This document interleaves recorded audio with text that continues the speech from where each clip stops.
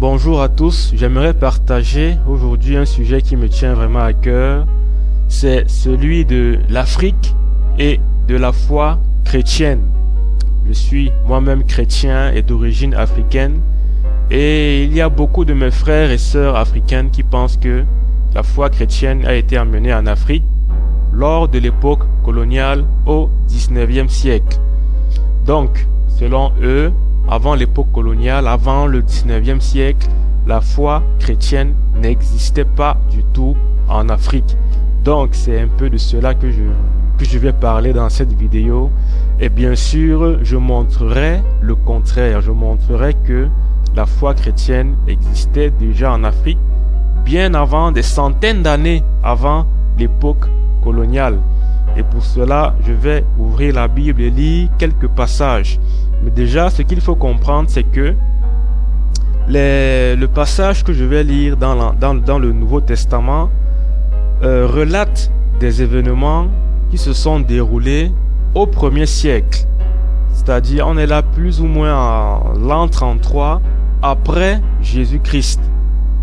Et souvenons-nous que l'époque coloniale a eu lieu au 19e siècle.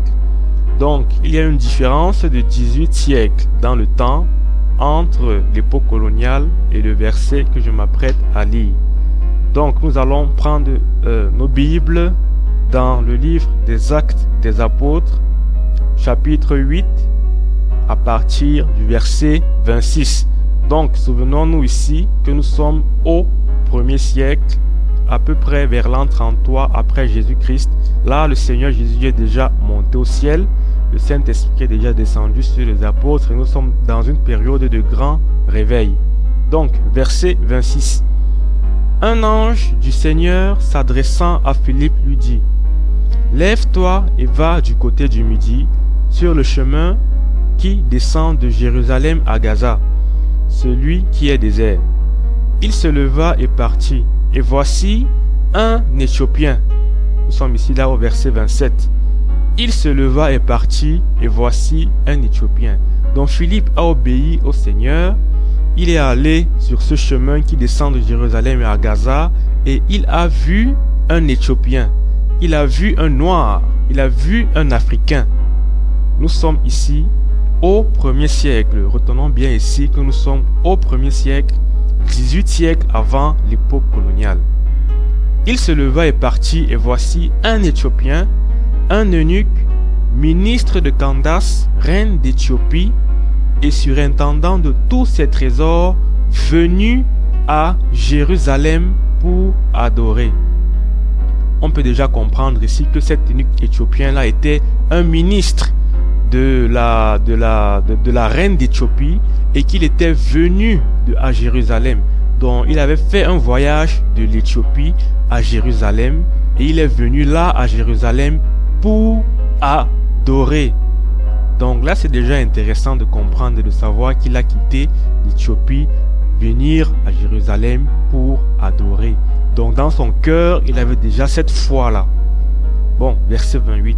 S'en retournait assis sur son char et lisait le prophète Esaïe. Donc, cet eunuque éthiopien-là était maintenant sur son chemin de retour pour entrer en Éthiopie. Il avait déjà fini d'adorer à Jérusalem et il rentrait chez lui en Éthiopie. Et ce qui est intéressant, c'est qu'il est écrit au verset 28, il lisait le prophète Esaïe. Donc, nous sommes ici au premier siècle, 18 siècles avant l'époque coloniale, il y avait cet Éthiopien, cet Africain, qui était en train de lire le prophète Esaïe. Il lisait l'Ancien Testament, bien avant l'époque coloniale. Il lisait l'Ancien Testament, précisément le prophète Esaïe. Et j'ouvre ici une parenthèse. Nous sommes ici au premier siècle. Il est écrit qu'un Africain lisait. Donc, les Africains savaient déjà lire. Je ferme la parenthèse. Verset 29. L'Esprit dit à Philippe, Avance et approche-toi de ce char. Philippe accourut et entendit l'Éthiopien qui lisait le prophète Ésaïe. Il lui dit, comprends-tu ce que tu lis? Il répondit, Comment le pourrais-je si quelqu'un ne me guide? Et il invita Philippe à monter et à s'asseoir avec lui. Donc on se rend compte que cet Éthiopien, cet Africain, ce Noir était vraiment intéressé, n'est-ce pas, dans les, choses de Dieu. Il lisait l'Ancien Testament, il méditait le prophète Esaïe, mais il ne comprenait pas les choses. Il avait besoin que quelqu'un lui apporte, n'est-ce pas, de la lumière, que quelqu'un lui apporte des explications sur ce qu'il était en train de lire. Verset 32, nous lisons, le passage de l'écriture qu'il lisait était celui-ci. Il a été mené comme une brebis à la boucherie et comme un agneau muet devant celui qui le tond. Il n'a point ouvert la bouche. Dans son humiliation, son jugement a été levé. Et sa postérité, qui la dépeindra Car sa vie a été retranchée de la terre. Verset 34. L'eunuque dit à Philippe, Je te prie, de qui le prophète parle-t-il ainsi? Est-ce de lui-même ou de quelqu'un d'autre? Dans l'eunuque éthiopien, il est vraiment intéressé dans les Écritures, dans l'Ancien Testament, dans ce livre du prophète Ésaïe. Ce livre du prophète Ésaïe est en train de parler d'une personne et l'Éthiopien ne comprend pas de qui il s'agit. Il demande à Philippe, est-ce de lui-même ou de quelqu'un d'autre qu'il est ainsi en train de parler? Dans l'eunuque éthiopien, ce noir, il était vraiment intéressé. Verset 35. Alors Philippe, ouvrant la bouche et commençant par ce passage, lui annonça la bonne nouvelle de Jésus. Donc, nous sommes ici au premier siècle, 18 siècles avant l'époque coloniale, et nous avons un Africain qui est en train de recevoir, à qui on est en train de prêcher la bonne nouvelle de Jésus. Et remarquons ici que ce n'est pas un colon qui est en train de prêcher l'évangile à cet Africain, mais c'est Philippe. Et Philippe n'était pas un Européen, il n'était pas un Français, il n'était pas un Allemand, euh, un Espagnol. Philippe était un Israélite d'origine juive. Philippe n'était pas un colon. Et c'est lui, Philippe, qui a prêché, qui a annoncé la bonne nouvelle de Jésus à cet Africain-là, déjà 18 siècles avant l'époque coloniale. Je lis au verset 36. Comme ils continuaient leur chemin, ils rencontrèrent de l'eau et l'eunuque dit, Voici de l'eau, qu'est-ce qui empêche que je sois baptisé? Donc l'eunuque a vraiment, cet Éthiopien, ce noir a été vraiment convaincu dans son cœur. Lorsque Philippe lui a prêché la bonne nouvelle de Jésus, il a été convaincu, il a vu de l'eau et il demande à Philippe, qu'est-ce qui empêche que je sois baptisé? Donc ici, on se rend compte qu'il a le désir d'être baptisé. Verset 37, Philippe dit, Si tu crois de tout ton cœur, cela est possible. L'eunuque répondit, Je crois que Jésus-Christ est le Fils de Dieu. Donc regardez, la réponse de Philippe est vraiment intéressante. Euh, L'eunuque, cet Éthiopien lui demande, Voici de l'eau, qu'est-ce qui empêche que je sois baptisé? Faut-il d'abord que je fasse des cours de catéchèse Non, Philippe dit, Si tu crois de tout ton cœur, cela est possible. L'eunuque répondit, je crois que Jésus-Christ est le Fils de Dieu. Donc ça c'est une petite parenthèse. Il n'y avait pas besoin de faire des coups de catéchèse pour être baptisé. Philippe dit, si tu crois de tout ton cœur, cela est possible. Et l'eunuque répondit, je crois que Jésus-Christ est le Fils de Dieu.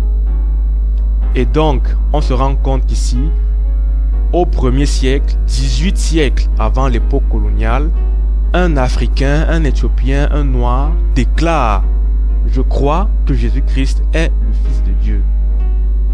Verset 38 Il fit arrêter le char. Philippe et l'eunuque descendirent tous deux dans l'eau et Philippe baptisa l'eunuque. Voici, n'est-ce pas, un Africain qui est devenu disciple de Jésus-Christ 18 siècles avant l'époque coloniale. Il était sur son chemin pour s'en retourner en Éthiopie. Verset 39. Quand ils furent sortis de l'eau, l'Esprit du Seigneur enleva Philippe et l'eunuque ne le vit plus, tandis que joyeux, il poursuivait sa route. Donc on se rend compte que l'eunuque, lui, il était tout joyeux, il continuait sa route et il était devenu disciple de Jésus-Christ bien avant l'époque coloniale, plus précisément 18 siècles avant l'époque coloniale. Il est aussi important de savoir, de connaître où est née la foi chrétienne. Parce que même là, il y a beaucoup de confusion. Il y a beaucoup qui pensent que la foi chrétienne est venue de l'Occident, que la foi chrétienne est née en, Occident, en Europe. Mais où est-ce qu'exactement la foi chrétienne est née? En fait, c'est simple à répondre. Il suffit de se demander, de se poser la question de savoir où est-ce que l'auteur de la foi chrétienne est né. Et nous savons que l'auteur de la foi chrétienne, c'est Jésus-Christ. Et Jésus-Christ n'était pas européen. Jésus-Christ n'était pas un Allemand, un Français, un Espagnol. Jésus-Christ n'était pas un Occidental. Jésus-Christ, il était juif. Et Jésus-Christ, il est né en Israël, plus précisément à Bethléem. Mais ce qui est intéressant de noter ici, c'est donc que la foi chrétienne est née en Israël. Et Israël se trouve tout proche de l'Afrique. Israël est un pays limitrophe de l'Égypte. Donc, la foi chrétienne est née tout proche de l'Afrique. Parce que Jésus-Christ était un juif et c'est là, tout proche de l'Afrique, en Israël, plus précisément au Moyen-Orient, c'est là que la foi chrétienne est née. La foi chrétienne n'est pas née en Occident, en Europe ou aux États-Unis. La foi chrétienne est née en Israël, tout proche de l'Afrique. Jetez un petit coup d'œil sur la carte et regardez bien le point rouge. C'est là que la foi chrétienne est née. Alors, on peut se demander, mais quelle est la, croyance qui a été emmenée en Afrique au 19e siècle? Parce que nous avons déjà vu que bien avant le 19e siècle, la foi chrétienne, elle existait déjà en Afrique. Alors, ce qui a été emmené en Afrique durant l'époque coloniale, c'est une religion, et notamment la religion catholique romaine, qui, comme son nom l'indique, est une religion qui vient des Romains mais nous avons à peine vu que Jésus-Christ n'était pas romain. Vous vous souvenez bien que ce sont les soldats romains qui ont crucifié Jésus-Christ sur la croix. Jésus-Christ n'était pas romain, mais Jésus-Christ, il était juif. Nous allons lire un passage dans la Bible. Là, une parole du Seigneur Jésus-Christ dans l'évangile de Jean chapitre 4 au verset 22. Jésus-Christ dit, vous adorez ce que vous ne connaissez pas, nous, nous adorons ce que nous connaissons, car le salut vient des Juifs. Car le salut vient des Juifs. Le salut ne vient pas des Romains, le salut vient des Juifs. Mais attention, il faut bien comprendre. Cela ne veut pas dire que nous devons nous tourner vers la religion juive. Cela veut tout simplement dire que Jésus-Christ était juif et c'est par lui que nous sommes sauvés, c'est par lui que le salut est obtenu. C'est du peuple juif que Dieu a suscité le sauveur du monde. Et c'est vers Jésus-Christ qu'il faut se tourner et non pas vers une religion. Je vais lire un autre passage dans Jean chapitre 3 verset 16. Car Dieu a tant aimé le monde Dieu a tant aimé le monde, quelles que soient les races, quelles que soient les langues, quelle que soit la couleur. Dieu a tant aimé le monde qu'il a donné son Fils unique afin que quiconque croit en lui ne périsse point, mais qu'il ait la vie éternelle. Quiconque croit en lui ne périsse point, mais qu'il ait la vie éternelle. Donc la vie éternelle s'obtient par la foi en Jésus-Christ. La vie éternelle ne s'obtient pas par, par l'appartenance à une religion. Donc, retenons ici que le salut vient des Juifs parce que Jésus-Christ était juif. Le salut ne vient pas des Romains. Nous allons récapituler en disant simplement que 18 siècles avant l'époque la foi chrétienne existait déjà en Afrique. La foi chrétienne n'est pas née en Occident ou en Europe, mais elle est née en Israël car l'auteur de la foi chrétienne, c'est-à-dire Jésus-Christ, il était juif, juif d'Israël. Ce qui a été emmené en Afrique lors de l'époque coloniale est une religion qui porte le nom de leur créateur, c'est-à-dire la religion catholique romaine qui a été créée, comme son nom l'indique, par les Romains. Donc, je vous remercie de votre attention. J'espère que vous avez apprécié cette vidéo. Que Dieu vous bénisse.